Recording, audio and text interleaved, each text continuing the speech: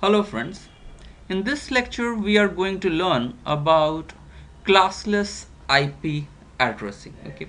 So last time we learned about classful IP addressing where we saw that our addresses could be categorized into class A, B, C and D where class A had 8 bits for the network ID and 24 bits for your host ID. Class B had 16 bits for your network ID and 16 bits for your host and class C had 8 bits for the network 24 bits for the network ID and just 8 bits for the host ID and so on. But the problem was that in class A there were very few just 2 to the power of 8 class A networks were there which is 256 and each class A network has so many hosts. So you can guess that it has 2 to the power of 24 hosts which is too much for any of organization however big it may be. Okay so this way a lot of addresses ip address which is a very costly resource is wasted okay? It's just wasted. So this is not a very good idea to waste ip addresses when you have it very few of them okay? B for class b still it had 2 to the power of 16 addresses in each of the class b networks. Here also there was quite a few wastage class C now has many networks but it has just 8 hosts for the one network okay? 8 bits for the net hosts and 2 to the power of 8 so 256 IP addresses. So this became bit small and D in fact smaller okay? So this way it was not very perfect. It, it was kind of rigid that okay only these classes are there. What if I want that okay I should have 2 to the power of 12 hosts? It's not allowed here what if I want 2 to the power of 10 host? Again not allowed. So if I want to be flexible enough okay so what should I do? So here is the solution. Classless addressing okay? So it provides you with different sizes of your network. So in this particular lecture our objective will be to understand the classless addressing mode and look at how do we define the network address okay? And then what should be the size of the network? How are the first and the last ip addresses known? How to create subnets and so on. Okay so let's first find the definition. In a classless addressing variable length blocks are assigned. Okay and they are not belonging to any class. In this architecture we have 2 to the power of 32 addresses. It's divided into different sizes block okay? You don't have a fixed size that okay it should be 2 to the power of 24 many hosts should be there 2 to the power of 16 or 2 to the power of 8 hosts can only be there in a network.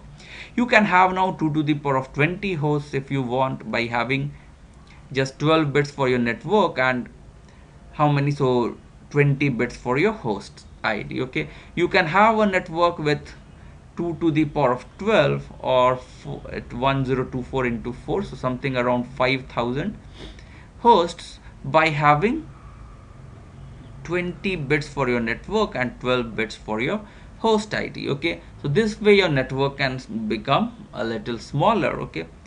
And you can have the flexibility that's most important okay?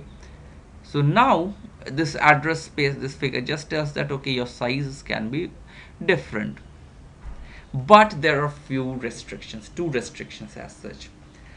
What are they? The beginning address should be divisible by block size. Okay your network where it starts. So there should be a block. So block will have a starting address okay and an end address okay. And you should have a block size that should be a power of 2 these two restrictions first and second should be there okay and that is important. So first one is important because of something like if we have let's say our network size is 512 it is a power of 2 this is fine. Our starting address if it is why should it be divisible by the block size? So it means starting address should be something like 512 a okay?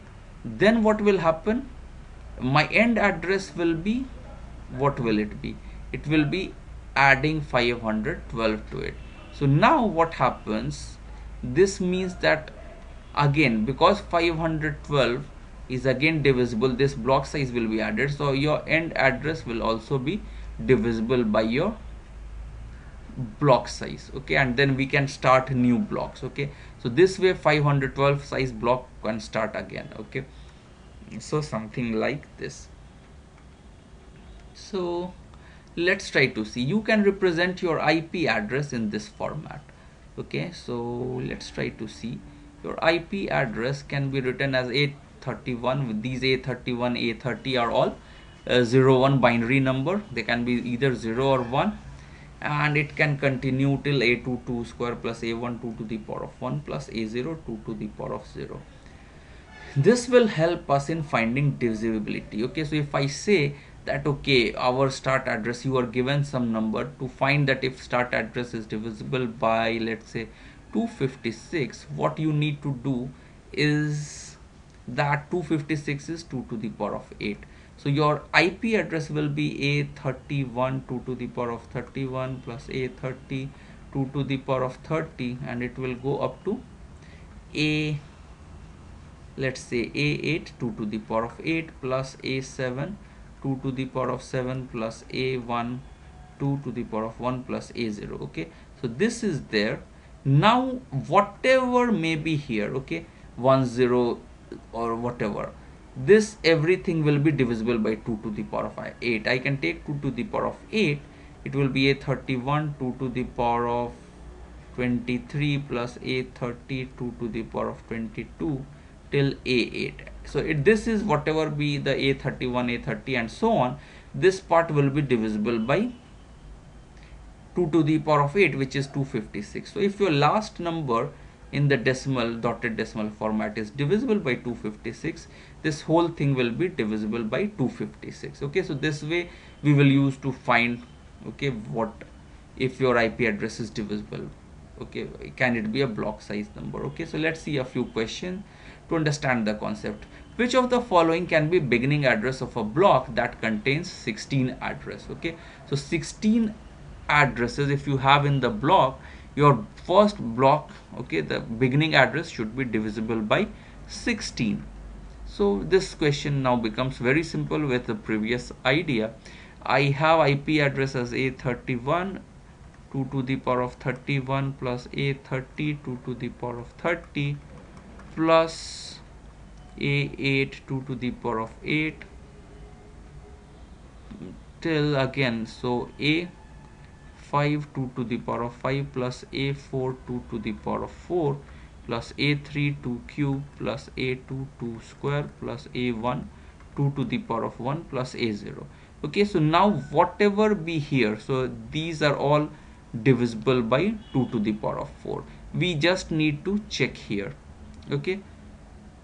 So in this one you can write let's say so this is 2 to the power of 5 your last 8 bits. So 0 1 2 3 4 2 to the power of 5 is 1 rest of them are zeros. Okay so we have here till a3 we had to check.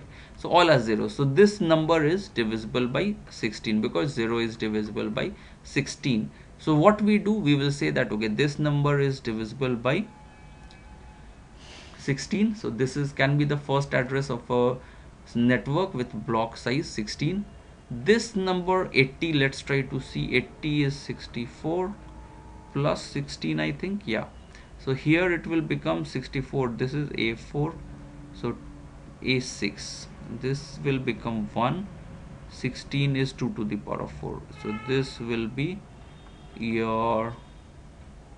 So again what will happen is last four bits are all zero. So this will be also divisible by 16 this one let's try to check 52 so this is 40 till here 12 so it means 8 plus 4 so now what will happen? This is this one will become 1 this one will become 1 0 0 so this is now this number is 12 12 is not divisible by 16 so this will not work. Similarly 44 will also not work okay? Because 44 is 32 plus 8 so 40 plus 4 so again 8 plus 4 will come. This is not divisible by 12 so this question we could solve okay? And we don't have to divide this i don't have to convert this ip address to completely decimal number okay? With partial conversion also i can do. So here this is the solution you can see but that was much easier. Now it says that which of the following can be beginning address of a block that contains 256 addresses. Okay so again 256 is 2 to the power of 8 so a31 2 to the power of 31 plus a8 2 to the power of 8 so till here everything is divisible by 2 to the power of 8 so this one becomes a7 2 to the power of 7 this is the just the last byte okay so this part. So if this is divisible by 256 your answer is divisible by 256 32 is not divisible. 0 is divisible. 0 is divisible here. So these two can be the first address beginning address of the block. This cannot be. So your answers are again here it says b and c are the addresses. Okay so this is also fine. Next comes 1024 so this is again so this is the same idea mathematical idea. 1024 is 2 to the power of 10 so you go on till a31 2 to the power of 31 till a10 2 to the power of 10 so here till here whatever is there you don't need to consider. Everything will be divisible by 2 to the power of 10 so a9 2 to the power of 9 plus a8 2 to the power of 8 a7 2 to the power of 7 till a0 you should think. Okay so now what will happen? Let's try to see the bits of here. So let's try to check for this one 32 and 37 let's try to check the binary number. So 37 is 32 plus 4 plus 1 so 1 2 3 4 5 6 7 8 so this is 1 32 is 0 1 2 3 4 5 so this is 1 then 0 1 2 this is 1 and this is 1 everything else is 0 so here and so what happens last two bits for this 37 is 0 1 okay? This is there. So this is just and then the last bit is 32 so this is just the decimal. So 32 plus 1 into 2 to the power of so this will be 2 to the power of 8 so 2 to the power of 8 is 64 plus 32 so this number is 96 is not divisible by 1024 hence this overall this number is not divisible. So this cannot be the beginning address. Let us check this one. So last part is white is 0 and then we need to find a9 and a8 so a9 and 8 because 32 is again just this bit is there. So a9 and 8 will be 0 0 so this will be all 0 so this number is divisible by 1024 so this will be there. Okay and you can check for all others like this this will be 52 what are the last two bits of 24 so 16 plus 8 so again so what will happen? Your a9 and a8 will be 0 0 and then what happens? This was for 24 and 52 so a9 and a8 are 0 0 so 52 is not divisible by 1024 so this also will not be there. Okay so this is the way for solving. I hope you understand this. Now what about format of classless addressing scheme? So it's x dot y dot z dot t slash n okay? So this is the format for classless addressing. And what happens is if you have these are the masks that are shown okay? So how to find the network part so for example if you have a slash 8 network then what will happen? This means your network part is 8 bits so you apply 255 to it and rest of it.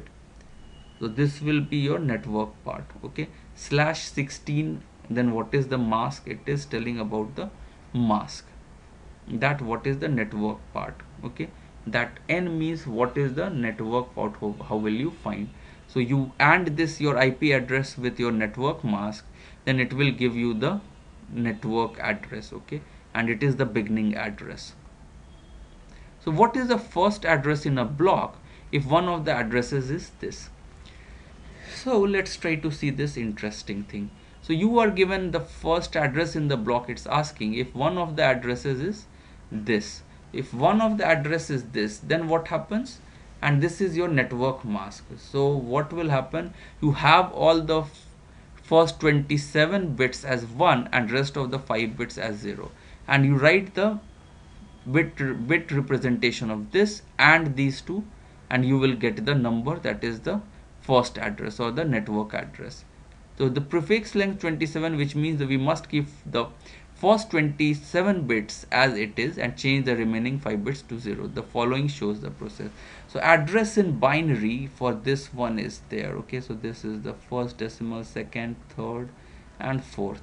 We keep the left 27 bits okay? And rest of them we put at 0 so the address becomes 167 199 170 dot 64 okay? So we just need to check the last address okay so what is it? 82 82 can be represented as 01010010 and you need to have 27 so last 5 bits you are 0 okay?